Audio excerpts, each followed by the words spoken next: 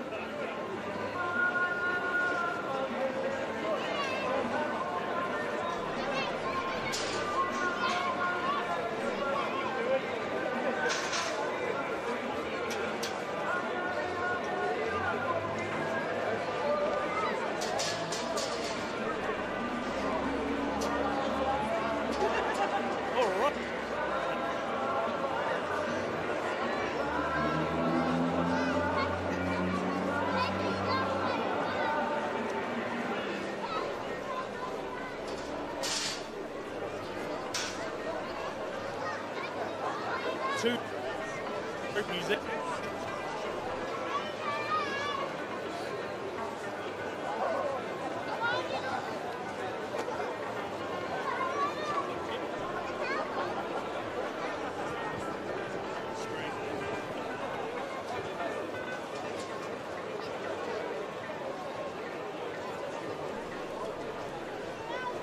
Check one, two. Check one, two.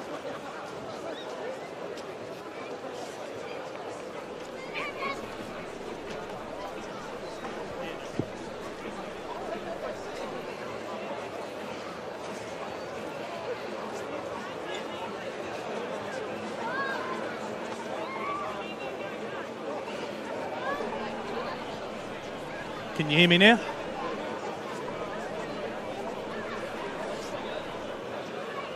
Check, check.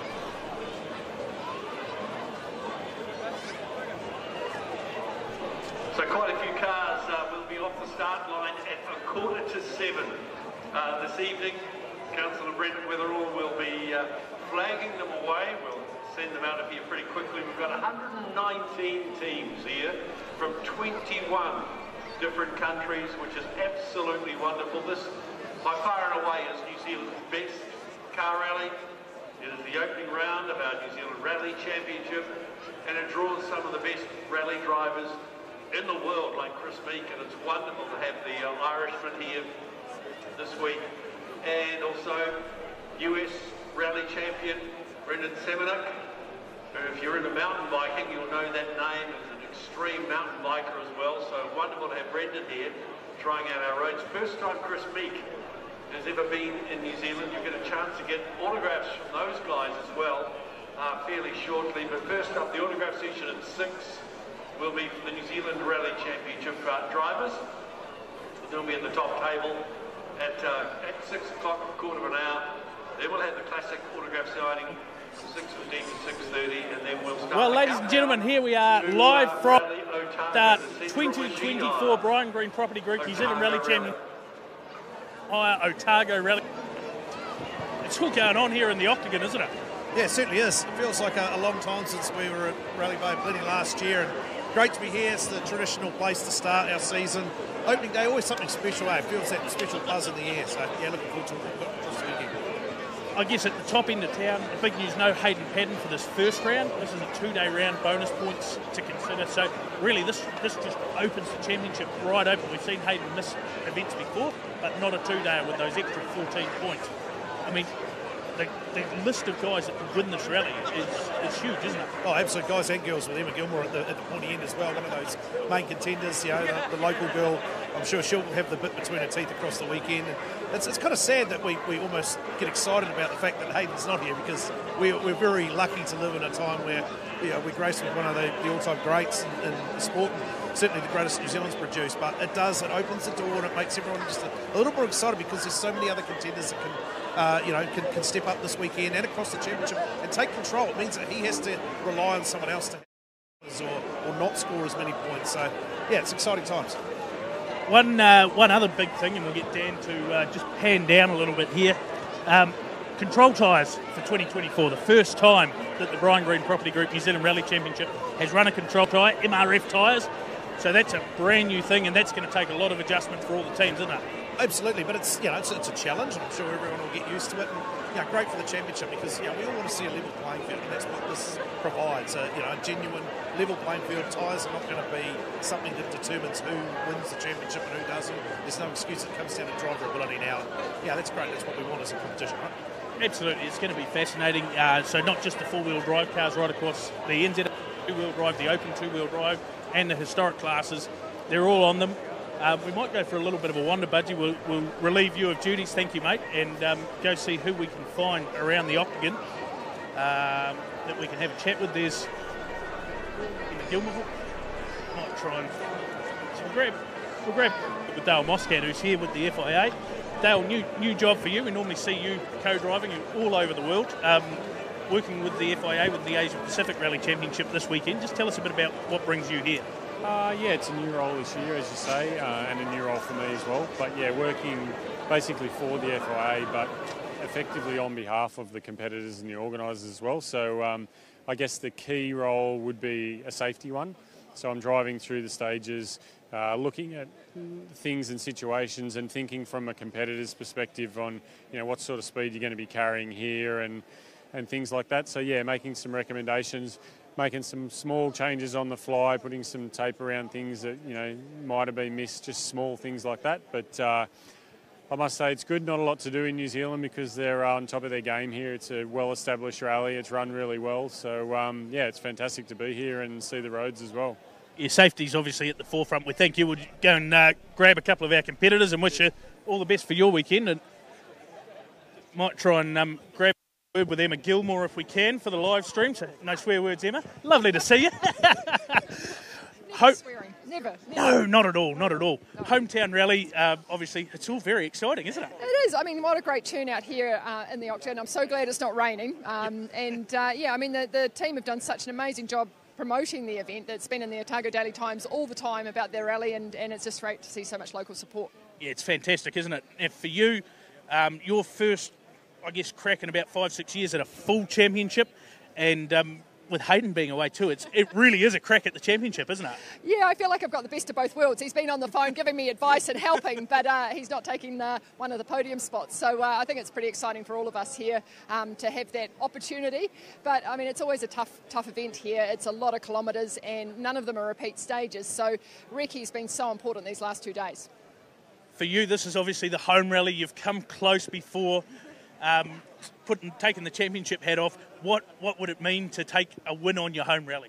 Oh, I mean, it would be a dream come true. It's absolutely the event I'd love to win. So, you know, we'll, we'll just do what we need to do, uh, one stage after another, and uh, yeah, we'll see what comes on Sunday afternoon. We wish you all the best, Emma. Have a have a great rally. Thank you. Um, oh, we've got Ben Hunt here too. See, see if we can squeeze in. Sorry, Benny, can we grab you for 30 seconds, mate? Uh, yeah, you're, you're live, so just be careful what you say. mate, um, take a joke around here. no, no, no, I'm super serious. You know that. Number one on the car, that's a pretty prestigious way to start the year. Yeah, I think it's probably the first time we've oh, before, but um, for Dunedin, it's normally uh, you know you get people like Gaurav and that coming. So um, I probably thought Gaurav might have uh, had number one on the car this weekend because he's um, you know got a pretty good uh, around the world. But um, yeah, pretty awesome to lead the cars away and yeah, excited to it and every all the cars looking flash and yeah, can't wait to get out there and throw some stones. Absolutely, a beautiful tribute livery that you and your team have put together for, for Brooklyn and Tyson, who we sadly lost earlier this year. Um, does that sort of put any extra pressure on you? I know you're not big on pressure. You you really just you go out there and do your thing. No, I think it, I, it definitely doesn't put any pressure on you, but it definitely um, is close to home and makes you probably think about uh, everything a bit more serious than what we used to back back uh, you know before the accident. But yeah, um, real tragedy and yeah, still uh, close to home. Yeah, definitely has been. Um, with no Hayden here, how important is it to get yeah pretty well the perfect start to the championship? Yeah, obviously everyone knows that it's important to get a perfect start. You don't have to make a statement about that, but um, yeah, we just want to go out there and enjoy it, and um, yeah, just we've uh, had the engine done over at Skoda, and yeah, it's been a been a bit of a miss in the last two or three months. So just keen to get out there and um, and do some Ks, and it we did maybe 20 Ks testing, so um, yeah, not a great great amount. I know you you're not big on looking at things before the event, so now you've actually been out, done recce, and seen what roads you're on. Are you excited to get on them? Yeah, it's um, probably uh, wish I had a had the bigger um, ratio gearbox. it's um, there's uh, you know even Berwick Forest that normally slows the rally down a bit is um, very fast this year. So uh, yeah, it's a, it's probably one of the faster rally for the whole 16 stages that we've ever had. I'll tighten up those belts and have a go. Right. All right, we'll see who else we can uh, grab a word with. Geoff Ridder there snapping some, some photos. We'll grab a word with Stewie Reid because he's uh, he's had a bit of a change on the on the live stream. Stewie last year in the the Mazda RX-7, this year uh, AP4 Mirage. Slight change. Uh, massive change. Um, very excited about the year. Uh, I've got a lot to learn. Um, so this rally is going to be a, a learning curve. So we'll get some more kilometres under our belt, Bella and I, and um, yeah. How much of a run have you had in the car? Um, it's very good. Uh, we did uh, testing with Hayden. Um, we did about 80 kilometres, and then he organised a sprint um, on the Saturday, which was very good as well. Um, but still, there's just that much to learn. I've, yeah. You've done a fair bit of four wheel drive rallying in Australia, so potentially a lot of our audience base hasn't seen a lot of that. Um, but there was more production based, wasn't it? Yeah, that was back in Group N. Um, my uh, Evo 3s were the first Group N car, and then a couple of Evo 6s. Then when Possum came to Australia, and we got a Subaru, and ran that for a couple of years. And then when Neal Bates got his factory Corollas, we had a factory Group MP car, drove his S2000 car at the WRC around in Coffs Harbour. And that was the last time I drove something with a sequential gearbox, but nothing like this car. It's a, it's a proper car. I'm very impressed. So, what are the major differences when you strap in, and what, what are you feeling and doing different compared to like a production car? Um, well, basically, everything's different. The, the flat, getting used to not having to lift off the throttle to change gear, being able to seems very mechanically unsympathetic. Bang the gears down like there's no tomorrow. Um, these are things that I'm, I'm, struggling with, to be very honest. Uh, it'll take me a while to learn it, but um, the brakes are great. There's just so many things that I could talk to you all night about the things I like about it.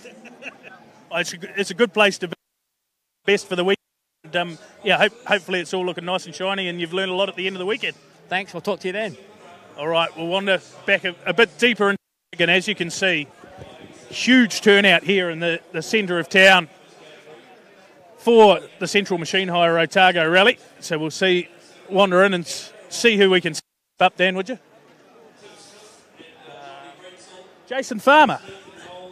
We'll talk to a co-driver because he's got himself a, a, pretty flash ride this year, mate. With yeah. uh, in with Jack Hawkeswood. What are, you, what are your initial uh, sort of thoughts and impressions? Oh, actually, really impressed. I got to come down and do uh, Papatanova sprint with him. Yep. I, I, probably pronounced that wrong. I always do, but um, no, really impressed. He's, he's real, real quick. It's awesome. Great ride. Busy couple of days recceing. Uh, the guys have talked about you know no repeat stages. Just yeah. tell us a little bit about how what a workload that puts on you as a co-driver pre-event. Yeah, so we spent roughly 10 hours yesterday actually doing the recce and then um, got back to the hotel last night and I spent another five hours tidying up my notes, ready for today to do another seven and a half hours of recce and then I've probably got another three hours of note work to do when I get back to the hotel. So it just drags the weekend out and it just mentally is quite exhausting. And especially for the drivers as well, you know, they've got to figure out what they want to say on the notes and how everything's going to look and especially on roads this fast with the crests and stuff like that, knowing what they want, where they want to sit. So yeah, it's, it's hard work, man. Where do you rate your chances? Oh, look, I'd like to think top five. We'll give it a nudge. Hey, what do you reckon? Hundred percent. Look at it, look at it in, Eddie. It's my final answer. All right, yeah. yeah. If you go top five, any better is an improvement. So hey, let's do it. Absolutely, mate. We wish you all the best. Thanks. Jason Farmer there, sitting with Jack Hawkeswood. Oh, speaking of speak of the devil, we've got a couple of them. Jack Hawkeswood, Robbie Stokes. Don't you run away. You're next, mate. We've just just had a good word with um, with Jace, your co-driver. Pretty exciting to have him on board. Oh yeah, no, it's going to be a going to be an amazing year. I think. Um, yeah, we've got so far from what we've done, we've gotten along really well in the car, and yeah, no, it's all going really good. It's it's really good to have that have that experience with you in the car. Like it just makes a massive difference to to everything in the recce, and you know recce's eighty percent of your rally. So yeah, that's no, really good. We haven't seen a heap of you in the championship in the last sort of year or so. Um, but there's been plenty going on behind the scenes. What's what's that car like? Yeah, no, the car's really good. Um, yeah, like I say, we haven't done a whole lot of racing last year, but that didn't mean we weren't doing plenty with it. So yeah, no, I think it's um, we've finally finally gotten the thing sorted, and yeah, we're really happy with um, with how the car's going at the moment. All right, you go sign some autographs, phone number on some posters, and um, I've just come over to make sure he hasn't told you how old I am. All weekend, that's all he talks about. Already, I dropped it already. Oh man, I'm gonna get him one day. 21-year-old Jason Farmer there with Jack Hawkeswood. We'll get Robbie Stokes in. Robbie, um, yeah, big season for, for everyone at the top end of the of the the um, field. You know, what, what sort of prep have you been doing? Because again, we haven't seen you for, for a fair while since Timaru last year. Yeah, we've been what nearly 10 months out of the car. We've done a, a, little test down south and then a rally sprint a few weekends ago, and other than that, not really anything. So, um, sort of in the same boat as everyone. Um, starting the year out with, uh, you know, not a lot of practice under the belt. So, yeah, we'll just see how we go tomorrow. We're not um, not pushing ourselves to do anything big or crazy, and uh, got Sarah in the car this year, so a new co-driver pairing. So, um, yeah, it'll just be about learning tomorrow and uh, yeah, having some fun don't want to dwell on it too much, uh, and, but I don't think it's a secret. Last year was you know, shocker. Um, fair, fair reset in the team, it's fair to say. Yeah, we've got a few new personnel on the team, so uh, yeah, had a bit of a refresh and uh, a few really good people have come on board for this year, and uh, yeah, we're just back to having good old fun rallying, and, and got my brother Jack in the in the championship as well in his R2, the car that I used to drive, so um, he'll be keeping people honest. He's uh, yeah showing a few good signs, so. Um, yeah, we're just really happy to be back to just enjoying the rallying and not uh, getting too caught up in the results and stuff like that. I mean, I say that now, but yeah. You're a competitive man, let's face it. We, we, when you check the times at the end of stage one, you'll, you'll be looking for your name up the top, won't you? Oh, yeah, I won't say no. Yeah. Have you had much of a chance to work with Sarah? Obviously, new pairing. yeah I was just uh, doing recce over the summertime, so um, yeah, we've done about 500 Ks or something like That. Obviously, both full-time workers. It's hard to get out and do it, but we've uh, yeah we've we've done the hard yards, so we've um, yeah got a really good relationship.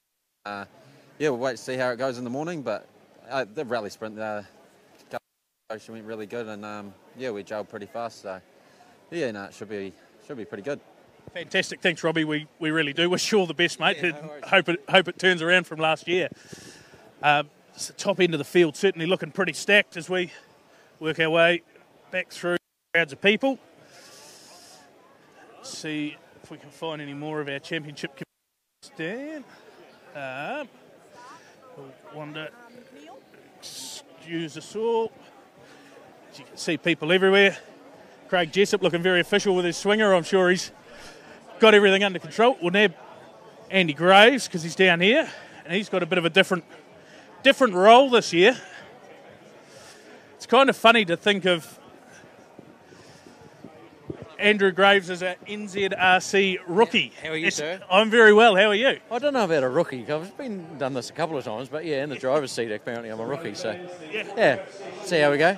A rookie that's probably done 70 or 80 rounds of the championship as a co-driver with Josh. So, um, obviously, this one you got your, your boy alongside, and you're in the Evo 3 and, and running at the front of the Group A field. You're you're our road sweeper. Yes, yes, road sweeping this weekend. So um, to be honest, I'm actually looking forward to it. You know, I don't mind being out the front, showing uh, you know what we can do. But it's uh, it's good to have Hayden on board, on board, and yeah, it's just we're going to go out and have some fun and see what happens.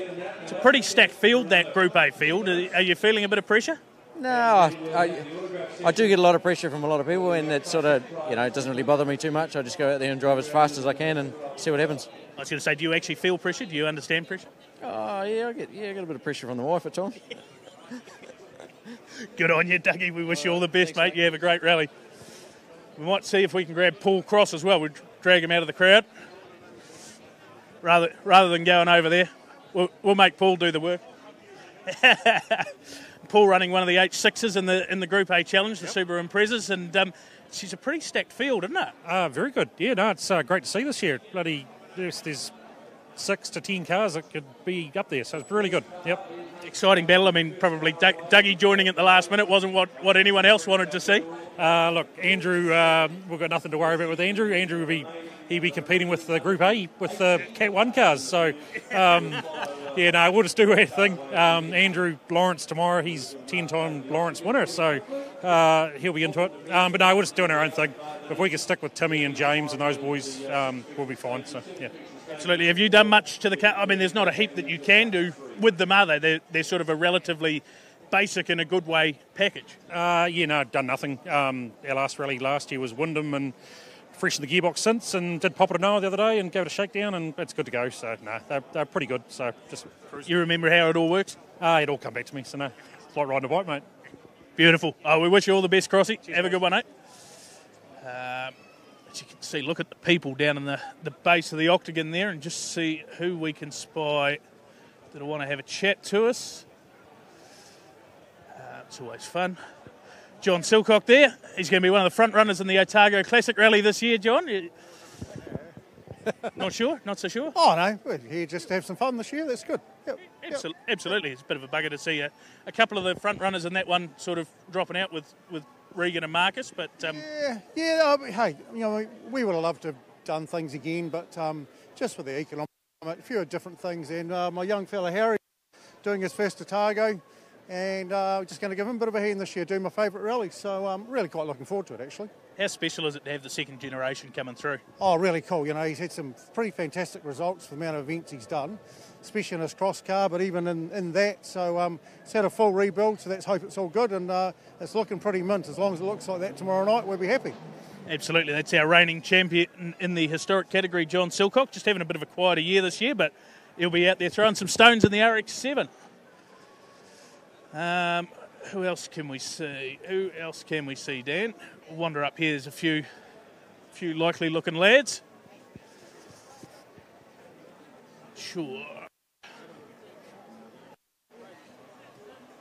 Across, across the world on, on the other side of the world with his ERC commitment. So um, yeah, the the cool opportunity. Championship, and, you know, a lot of guys have been talking about how the opportunity's there for them. I guess you're looking the other way, aren't you? Yeah, yeah, a little bit. It's like, oh, you know, it would have been great to, to do all six rounds, but obviously, you know, other priorities uh, have to take over.